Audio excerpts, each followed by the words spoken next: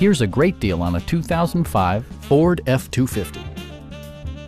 It features four-wheel drive capabilities, a durable automatic transmission, and a powerful eight-cylinder engine.